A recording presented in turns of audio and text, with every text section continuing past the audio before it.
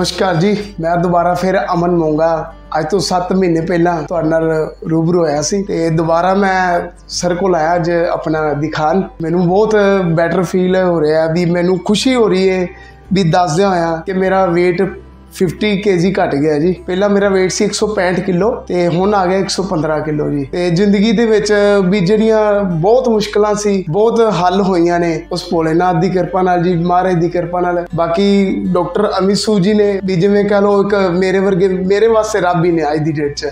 ਕਿਉਂਕਿ ਉਹਨਾਂ ਨੇ ਮੇਰਾ ਵੀ ਜੋ ਸਰੀਰ ਦਾ ਸਿਸਟਮ ਸੀ, ਸਾਰਾ ਚੇਂਜ ਹੋ ਗਿਆ ਜੀ। ਕਿੱਥੇ ਮੈਨੂੰ ਸਾਹ ਵੀ ਚੜਦਾ ਸੀਗਾ, ਕਦੇ ਮੇਰੇ ਕੋਲ ਬਾਈਕ ਤੇ ਨਹੀਂ ਬੈਠਾ ਜਾਂਦਾ ਸੀ। ਦੁਕਾਨ ਤੇ ਬੈਠਣ ਲੱਗਿਆ, ਦਿੱਕਤ ਆਣੀ ਜੀ। ਤੇ ਵੀ ਬਿਲਕੁਲ ਉਹ ਦਿੱਕਤਾਂ ਸਾਰੀਆਂ ਖਤਮ ਹੋ ਚੁੱਕੀਆਂ ਨੇ ਜੀ। ਇੱਥੋਂ ਦਾ ਮਤਲਬ ਕਿ ਲਿਹਾਜ਼ਾ ਵੀ ਨਾਲ ਸਟਾਫ ਵੀ ਸਾਥ ਦੇ ਰਿਹਾ ਵੀ ਮੈਂ ਜਦੋਂ ਮੈਂ ਆਪਰੇਟ ਕਰਾ ਕੇ ਗਿਆ, ਮੈਨੂੰ ਮਗਰ ਮਹੀਨੇ ਦੇ ਵਿੱਚ ਵੀ 5 5 6 6 ਕੋਲ ਆਉਂਦੀਆਂ ਰਹੀਆਂ।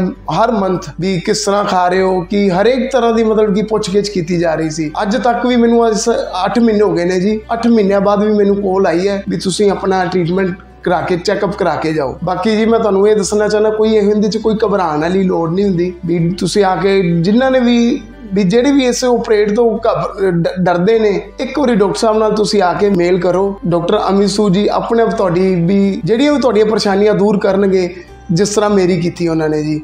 ਮੈਂ ਤਾਂ ਇਹਨਾਂ ਦਾ ਸਾਰੀ ਉਮਰ ਨਹੀਂ ਦੇਣ ਦੇ ਸਕਦਾ ਜੀ, ਕਿਉਂਕਿ ਮੈਨੂੰ ਆਪਦਾ ਵੀ ਸਰੀਰ ਦਾ ਸਾਰਾ ਮੇਰਾ ਵੀ ਮੈਟਰ ਹੀ ਚੇਂਜ ਕਰਤਾ, ਆਪਦਾ ਜੀਣ ਦਾ ਇੱਕ ਮਤਲਬ ਕਿ ਮਕਸਦ ਦੇਤਾ ਮੈਨੂੰ ਇਹਨਾਂ ਨੇ। ਕਿਉਂਕਿ ਦੇਖੋ ਵੀ ਇੱਕ 165 ਕਿਲੋ weight ਵੀ ਬਹੁਤ ਹੁੰਦਾ ਜੀ, ਬੰਦੇ ਕੋਲ ਤੁਰਿਆ ਨਹੀਂ ਜਾਂਦਾ। ਤੇ ਮੈਂ ਅੱਜ ਬਿਲਕੁਲ ਐਡੀ ਫੁਰਤੀ ਨਾਲ ਆਪਦੀ ਸ਼ੌਪ ਤੇ ਵੀ ਕੰਮ ਕਰਨਾ, ਕੋਈ ਵੀ ਕੰਮ ਕਰਨਾ, ਆਪਦੀ ਬੜੀ ਫੁਰਤੀ ਨਾਲ ਕਰਨਾ।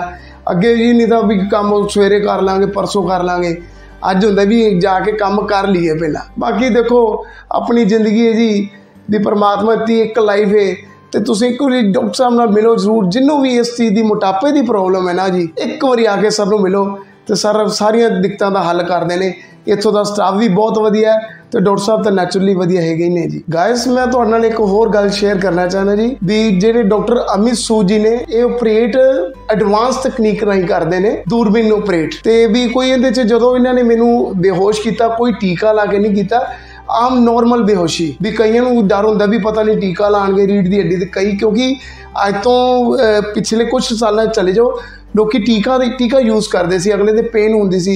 ਇਹੋ ਜੀ ਕੋਈ ਦਿੱਕਤ ਨਹੀਂ, ਕੋਈ ਪਰੇਸ਼ਾਨੀ ਨਹੀਂ ਆਈ। ਮੈਂ ਜਦੋਂ ਇਹਨਾਂ ਨੇ ਮੈਨੂੰ ਬੇਹੋਸ਼ ਕੀਤਾ, ਦੋ ਆਪਰੇਟ ਤੋਂ ਬਾਅਦ 2 ਘੰਟਿਆਂ ਬਾਅਦ, ਮੈਨੂੰ ਆਪਦੀ ਹੋਸ਼ ਆ ਗਈ ਪੂਰੀ। ਹੋਸ਼ ਆਉਣ ਤੇ ਮੈਂ ਖੁਦ ਆਪਦਾ ਖੁਦ ਚੱਲ ਕੇ ਬਾਥਰੂਮ ਹੋਣ ਗਿਆ ਜੀ। ਤੁਸੀਂ ਕੋਈ ਇਸ ਤੋਂ ਇਲਾਵਾ ਵੀ ਡਾਕਟਰ ਸਾਹਿਬ ਵੀ ਮੋਟਾਪੇ ਦਾ ਇਲਾਜ ਟ੍ਰੀਟਮੈਂਟ ਤਾਂ ਕਰਦੇ ਹੀ ਕਰਦੇ ਨੇ ਤੇ ਇਹਨਾਂ ਕੋਲ ਪੇਟ ਦੀਆਂ ਹੋਰ ਬਿਮਾਰੀਆਂ ਦਾ ਹਰ ਇੱਕ ਚੀਜ਼ ਦਾ ਟ੍ਰੀਟਮੈਂਟ ਹੈ।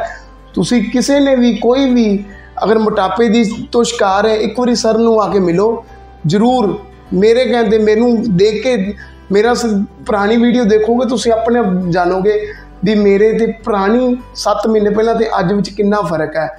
ਬਾਕੀ ਰਹੀ ਗੱਲ ਡਾਕਟਰ ਸਾਹਿਬ ਕੋਈ ਹੋਰ ਵੀ ਪੇਟ ਦੀਆਂ ਬਿਮਾਰੀਆਂ ਦੇ ਆਪਰੇਟ ਵਗੈਰਾ ਹਰ ਇੱਕ ਚੀਜ਼ ਦੇ ਕਰਦੇ ਆ, ਜਿਹਨੂੰ ਕੋਈ ਦਿੱਕਤ ਹੈ, ਸਰ ਨੂੰ ਆ ਕੇ ਜ਼ਰੂਰ ਮਿਲੋ। Thank you